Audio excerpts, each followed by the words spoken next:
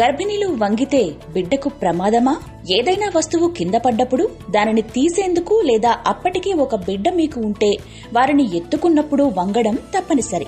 ఇలాంటప్పుడు కడుపులో బిడ్డకు హాని కలుగుతుందా అనేది ఎందరో గర్భిణీలకు వచ్చే సందేహం. ఇందుకు సమాధానం? లేత నెలల్లో లేదా ఆ తర్వాత ఎప్పుడైనా ఒక్కసారి వంగినందువల్ల గర్భంలో బిడ్డకు హాని జరగదు.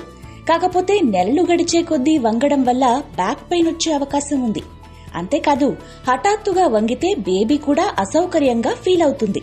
అందుకే రెండవ ట్రైమిస్టర్ నుంచి నడుము మీద భారం పడే పనులేవి వద్దు.